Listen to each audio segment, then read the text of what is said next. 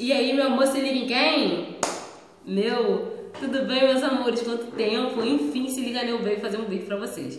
No dia que eu fiz o vídeo apresentando a minha, minha equipe, eu ia fazer vários naquele dia, mas eu tive, tive um compromisso, tive que sair correndo, tive que sair. E aí eu voltei, já tava muito tarde, enfim, não consegui gravar. Então eu vim hoje fazer um videozinho pra vocês. Desculpa pela voz, que eu tô muito resfriada. Eu acordei muito ruim, corizando muito, tossindo muito. E eu só consegui fazer o vídeo agora que minha voz tá um pouquinho melhor. Minha voz tava muito feia, Deus me livre. Quando eu acordei, eu falei, gente, que tá aqui comigo?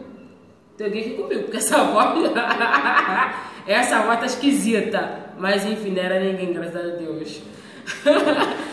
gente, esse vídeo é pra falar sobre as coisinhas que a gente escuta, né?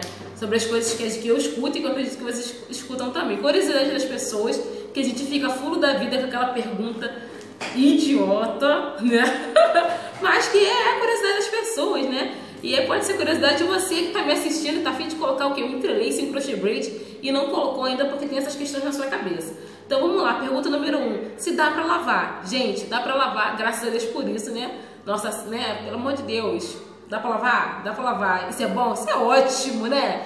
Gente, eu nunca tive essa dúvida se daria para lavar, mesmo antes de eu, de eu, começar a usar o método. Porque, assim, nunca passou pela minha cabeça que uma pessoa ficaria, botaria um cabelo para ficar dois, três meses sem lavar a cabeça.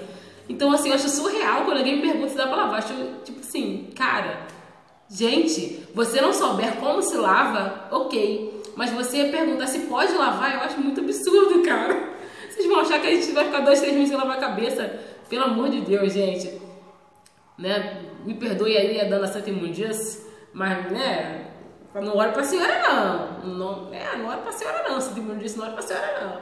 Gente, pelo amor de Deus, claro que pode lavar, tá? Agora, vocês podem é, ter dúvida de como faz para lavar. Aí tudo bem, ok. Como faz para lavar? Eu diluo o shampoo é, no borrifador com água, né? Eu uso o shampoo, eu gosto de usar o shampoo anti-coceira e anti-caspa da Head Shoulders é, de eucalipto, que ele dá um frescor no couro cabeludo, ele é muito gostoso. Diluo ele no couro cabeludo, diluo ele no borrifador com água e vou esborrifando aqui no meu couro cabeludo, né? E esfregando. Depois eu vou pro chuveiro, enxago meu couro cabeludo e na minha fibra eu uso condicionador e shampoo infantil, né? Sempre apertando a fibra, nunca é, esfregando a fibra, fazendo movimentos circulares ou é, apertando para cima, porque isso ajuda a embolar a fibra, né? Então eu sempre lavo no sentido é, da fibra mesmo, para baixo, né? Para manter a fibra sempre solta, né? Não correr o risco da fibra embolar. Então eu esfrego meu cabelo assim, ó, apertando para baixo,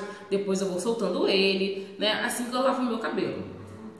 É, ah, Carla, mas se você dilui, dilui o shampoo é, na água, então diminui o efeito do shampoo, no caso seu couro cabeludo não fica tão bem limpo.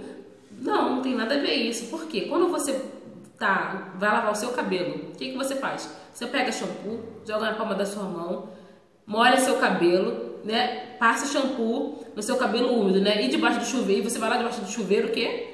Que, que você faz quando você vai lá debaixo do chuveiro? Você dilui o shampoo mais ainda, né? Porque a água tá caindo e você tá lá debaixo do chuveiro esfregando a sua cabeça. Então você tá, o que, que você fez? Você diluiu o seu, seu shampoo. A única diferença é que eu diluo o meu no borrifador e você dilui direto na sua cabeça. Então assim, não diminui o efeito do shampoo quando eu diluo ele no, no borrifador. Só facilita a minha vida na hora de lavar o meu cabelo. É, minha raiz fica bem higienizada, bem limpinha. Outra coisa que já me perguntaram também, se liga, Neo, você pode, com esse cabelo aí, você pode pegar é, chuva. Meu cabelo é muito chique, meu cabelo não é pra qualquer um, meu cabelo é luxo. E eu pego chuva assim, mas eu pego chuva quando ela com gás, que eu sou dessas. Gente, pelo amor de Deus. Se você pode lavar fibra, você pode pegar chuva. E se você pode pegar chuva, você pode lavar a fibra, né? Gente, isso aqui não, não tô escovada, não tô pranchada, eu tô cacheada. Eu posso muito, muito, muito, muito pegar chuva eu posso pegar chuva mesmo, tá? Que não tem problema nenhum. O, só, vai ficar só chato o seguinte, se for à noite e eu tiver desprevenida de guarda-chuva, eu pegar uma chuva, vai ser chato para secar o meu cabelo, porque eu provavelmente eu vou dormir com a minha cabeça úmida, né? Molhada. Mas fora isso, gente, pode pegar chuva, tá? Outra coisa também que me pergunto também é referente ao creme, qual creme que pode ser usado, se pode ser usado creme. Gente, eu uso, pode, pode usar creme sim, eu uso creme, eu acho importante você usar creme. essa fibra fica muito gostosa, muito cheirosa. É, só não, eu só não indico é usar creme caro, né? O creme de marca, a não ser que seja uma, uma escolha sua pessoal. Não, vou usar esse creme caro sim, porque eu acho ele cheiroso e eu quero passar ele na minha fibra. Ok. Eu só não, eu só não, não quero que você se iluda comprando um creme caro, achando que seu cabelo vai ficar super mais cacheado sabe? Que seu cabelo vai ficar hiper macio, que seu cabelo vai, tipo assim, ai, tá aqui, esse creme aqui tá prometendo dar brilho no meu cabelo, então eu vou passar porque ele vai dar brilho no meu cabelo. Não, porque esse cabelo aqui é um cabelo feito em laboratório. Laboratório? É um cabelo feito. é um cabelo feito, é um cabelo que foi criado, né? É um cabelo sintético é, então, gente, eles não, ele não tem, é, ele não é um cabelo humano, né? Ele não é um cabelo humano. Então, assim, não vai, o creme que você for usar não vai agir da mesma maneira nessa fibra que foi criada como agiria no cabelo humano, né? É totalmente diferente. Então, assim, aqueles cremes prometem aquele efeito no, no cabelo humano, né? Não se iluda comprando aquele creme achando que o mesmo efeito vai ser realizado na sua fibra tá? Então, assim, por isso que eu não recomendo você usar cremes hiper caros. Eu tinha uma net, ela comprou o kit da Lula e não, não tava fazendo o efeito que ela esperava. E ela veio falar comigo desesperada e tal. E aí eu falei pra ela, amiga, manda pra cá o kit da Lula, que é a pessoa que tá em transição, que eu vou usar pra tu. Pelo amor de Deus, não faz isso não. Os cremes da Loura é cara dessa, amiga. Tá passando tudo na fibra. Tu tá jogando teu dinheiro aonde? No lixo. Daqui a pouco você vai pra onde isso aqui, gente? Isso aqui é pro lixo né? Pelo amor de Deus.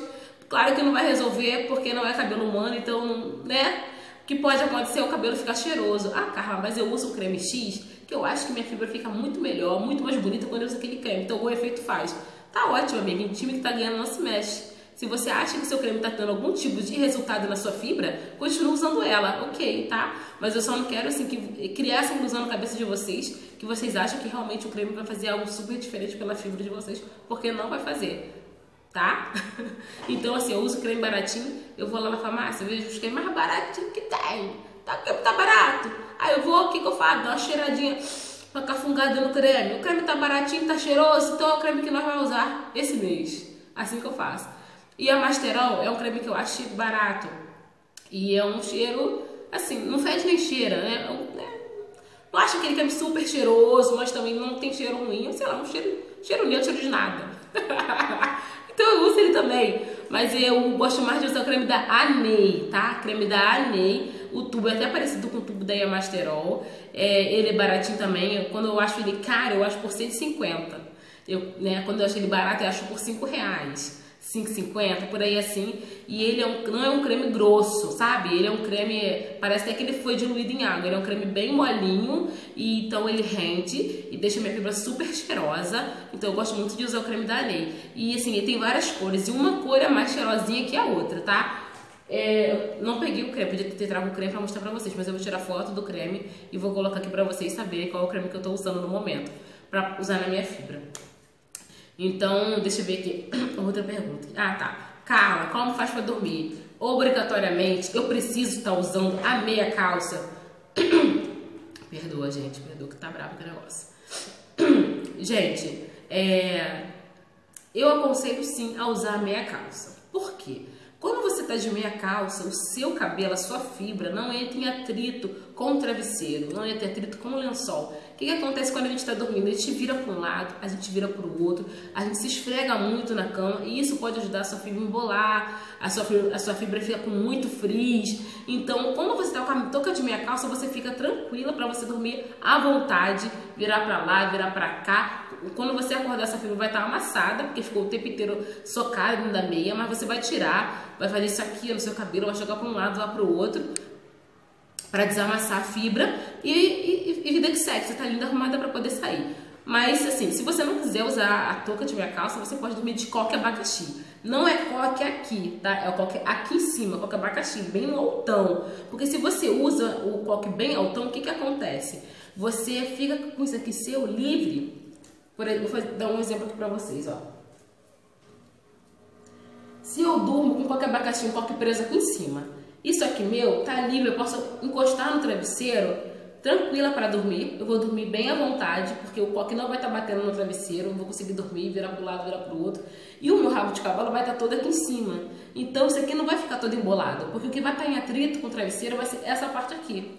Né? E o que, que vai, pode acontecer nessa parte aqui de baixo? Ficar cheia de cutão do travesseiro, da cama do seu lençol. Mas se você é uma pessoa que não usa coque, que não usa rabo de cavalo, não tem problema, porque você não vai prender para aparecer essa parte aqui. Então, se tá cheio de cutão dessa parte aqui, você só, se você só gosta de usar só cabelo solto, não vai aparecer, né? Agora, eu, por exemplo, eu gosto muito de usar coque. Gosto muito de usar rabo de cavalo. Eu vou postar uma foto minha aqui de coque para vocês verem como é que fica. Fica um baita de um cocão. E aí, quando eu durmo sem é, a touca, que eu fico dormindo só de coque abacaxi, aqui atrás fica cheio de cutão. Aí eu tenho que ficar toda hora cortando, porque como eu uso coque, aí aparece tudo. Mas se eu uso rabo de cavalo solto, o rabo tampa essa parte todinha aqui de baixo da minha nuca e aí não aparece o cutãozinho. Então, é a maneira que eu acho de dormir. Carla, você acha que pode trançar a fibra cacheada para dormir? Não, eu não aconselho você trançar a fibra cacheada. Se a fibra for lisa, tudo bem, mas cacheada eu não acho legal você trançar a fibra cacheada para dormir, não. Eu acho essas duas maneiras a mais indicada para dormir. Carla, você é dona da razão? Só não. Sabe de tudo? Sei não mas é minha opinião, né? As minhas considerações desse tempo, tempo que eu uso fibra e que eu trabalho com fibra são as minhas considerações. E vocês sabem que eu fico sempre com cabelo de dois a três meses. Eu ganho cabelo de, de, é, da loja Maprina Cabelos. Então, se eu quiser, eu posso trocar de cabelo até todo mês, mas eu não troco. Eu deixo sempre para trocar de dois em dois meses ou de três em três meses para provar para vocês que é possível usar uma fibra sim. É, tranquilamente, sem precisar usar. É, uh, amaciante, porque também é uma coisa que eu não uso. Eu não uso amaciante, não uso poliflor, não uso glicerina. Né? Outra coisa também que me perguntam muito se tem alguma misturinha que eu passo no meu cabelo. Não passo misturinha nenhuma, tá? Eu lavo meu cabelo com shampoo, condicionador infantil, passo creme no comum e acabou. E eu fico com a minha fibra sempre de 2 a 3 meses. Então, se eu consigo, você também consegue. Não é preciso você usar shampoo, condicion... é, é, desculpa, não é preciso você usar é, poliflor, óleo de peroba, padrabilho. Gente, você tá de madeira ré? Tu tá até mesmo marceneiro? Não. Por que, que tu vai usar óleo de peroba no teu pra dar brilho, amiga? E pelo amor de Deus, desapega dessa parte, entendeu? Gente, quando é semana da limpeza Guanabara, tu vê a porrada de mulher cabeluda na fila lá do, na parte lá da prateleira da limpeza. Na limpeza Guanabara tá cheio de cabeluda lá, na, na sessão lá de limpeza, porque o pessoal vai o quê? As encantadoras vai lá o quê? Buscar maciante, buscar sabão em pó líquido pra lavar a cabeça, ir lá no óleo de peroba pra dar brilho no cabelo, pelo amor de Deus, gente, que mico, pelo amor de Deus, para com essas coisas, gente.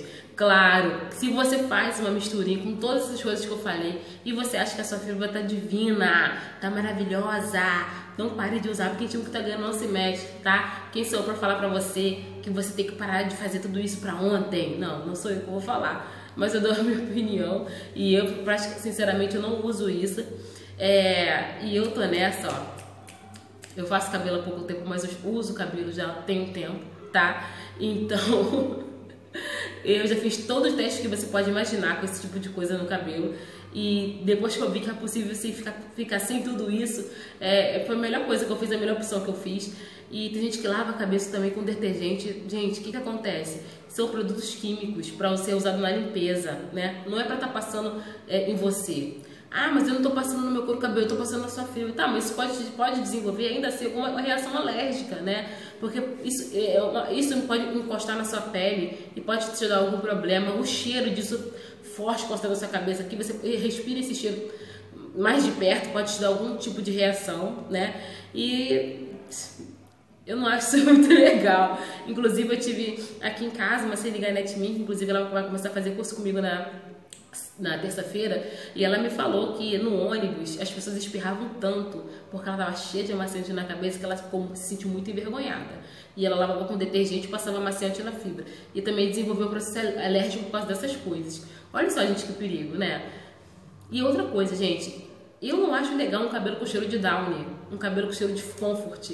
Isso é muito cheirosinho. É, na sua roupa né? No nosso cabelo, a pessoa chega perto de você e tá sentindo cheiro de Downy, você tá, tá se achando, tá? E meu cabelo tá fedendo a Downy, meu, tá cheirando a Downy, arraso com cheiro bom no meu cabelo. Pelo amor de Deus, gente. Gente, pelo amor de Deus. Não, gente, a pessoa tem que sentir o quê? Um cheirinho de creme no seu cabelo. Em você um cheiro gostoso do seu hidratante, do seu perfume, do seu óleo corporal. Não tem que sentir cheiro em você de Downy, pelo amor de Deus. Mas enfim, gente, pode desapegar, porque dá certo sim usar, porque eu não uso. E dá super certo. Então, se dá certo comigo, dá certo com você também. É, nosso vídeo ficou muito grande, tem muitas dúvidas, muitas perguntas que as pessoas me fazem e eu, se vocês quiserem que eu faça a parte 2 desse vídeo, falando sobre mais coisas, tirando mais dúvidas, vocês podem, vocês comentam aqui no, no vídeo, no comentário que eu vou fazer e se vocês tiverem dúvidas também, algumas perguntas que vocês querem que eu esclareça no próximo vídeo, se houver o 2, caso vocês queiram, eu respondo também. E é isso, meu amor, se liguem em quem? Meu, Beijo.